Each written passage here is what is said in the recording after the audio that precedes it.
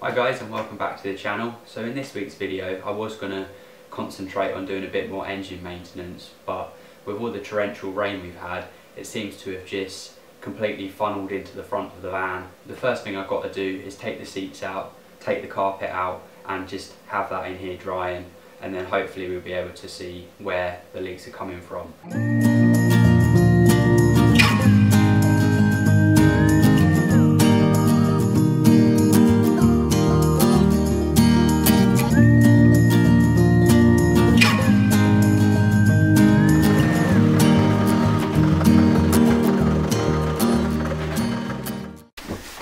See how much moisture is inside this van.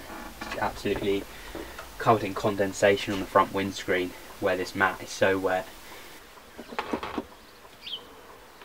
It's really damp under here. I've got to get this out.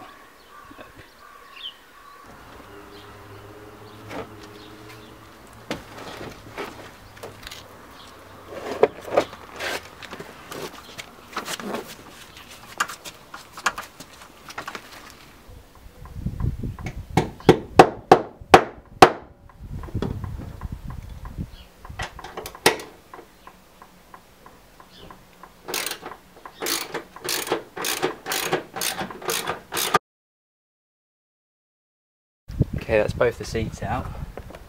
Now I need to try and get this rubber mat out. So you can see the state of the floor. Um, okay, some rust there. Doesn't look great, but I suppose it could be expected.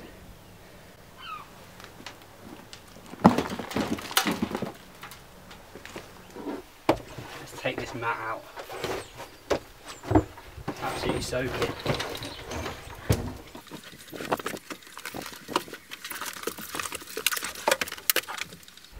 think it's more on the passenger side that it's leaking, but I might as well do the driver's side while I've got the seats out.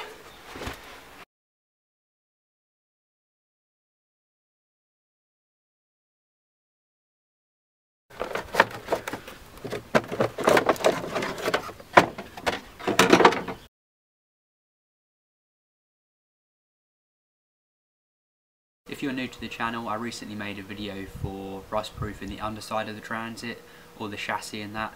I'm using a very similar method for doing the floor inside here, so you might want to check that video out if you're interested. If you like watching this kind of video, please don't forget to like and subscribe to my channel. I'd really appreciate it and it's totally free to subscribe. So I can see exactly what I'm doing, I'm just going to clean all the dirt out of here.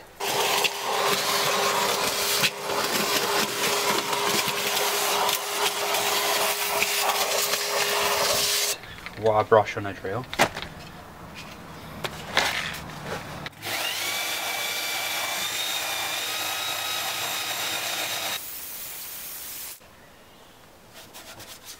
Getting rid of as much rust as possible.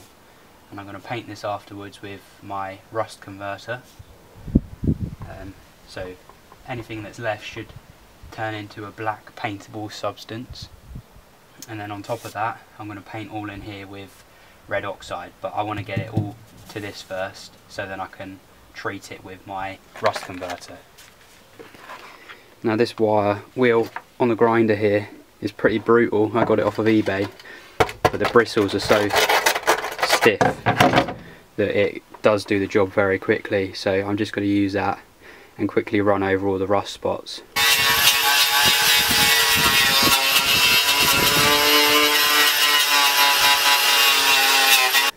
You can see I have discovered some holes. Great, it's fine. It's in an okay place. It's just on the step. Now that's better. Just had to stop for a sandwich. I've just got some Vactan here,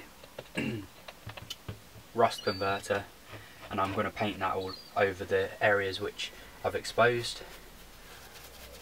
Anywhere where there might be rust and you can paint directly over this rust converter once it's worked its magic so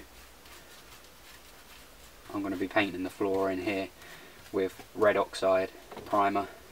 It's a good rust inhibitor and um, it's cheap as well and I've got plenty in the garage.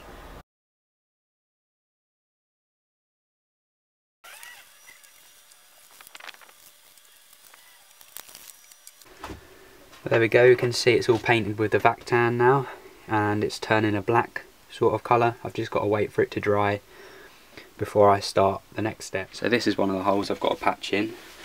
I've got some cereal box cardboard here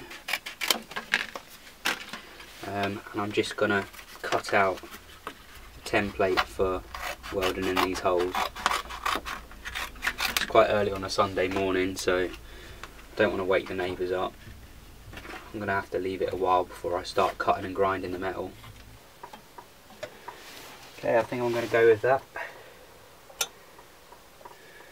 So I'm going to go tidy all these pieces up and then I'm just going to go ahead and weld them in. So I just need to clean up around the edges where I'm going to be welding now. I'm not an expert welder but I can weld and I get by with what I've got. Um, nothing fancy, it's just a gasless welder. I know they're not the best, but does a job.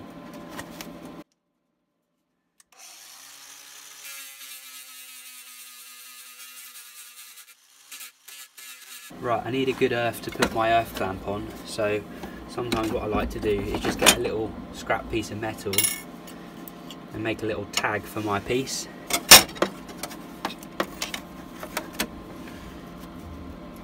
I'll just put a few tacks in this.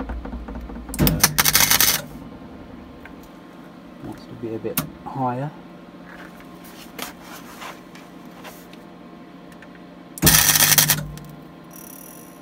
There I've got a nice tag for me to put my earth clamp on and start putting some tacks in.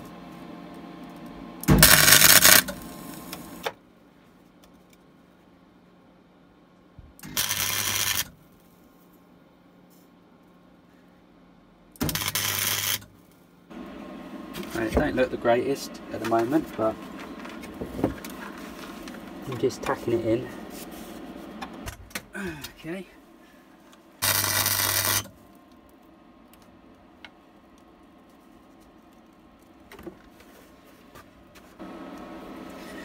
Well, it's getting there.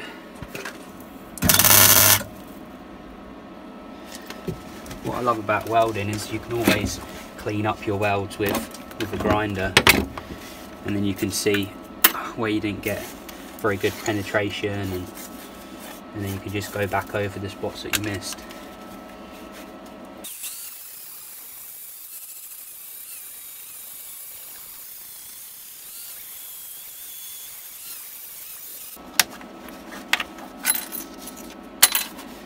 I'd say that's alright once it's got a bit of seam sealer over this it'll be much better.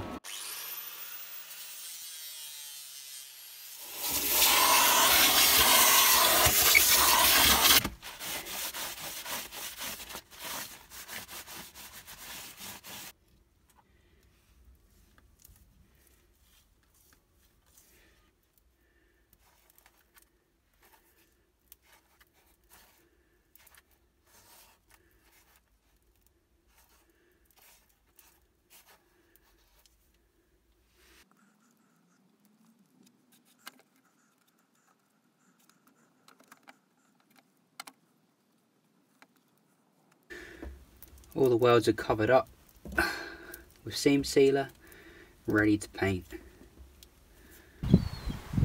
Right it's absolutely freezing today. It's snowing. I've got a couple of holes here in the driver's side footwell which I need to patch up. Um, and then I'll start painting. But let's get these sorted first that's better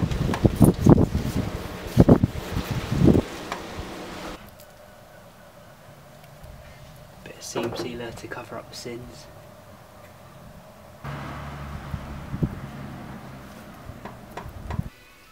Here's my red oxide primer.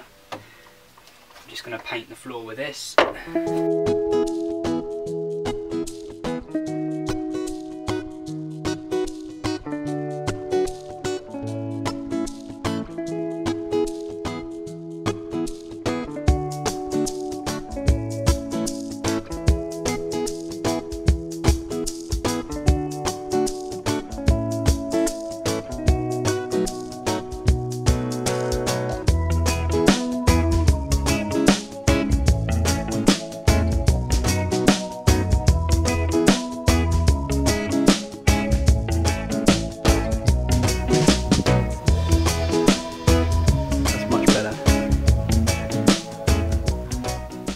It's all painted up, it looks much better now.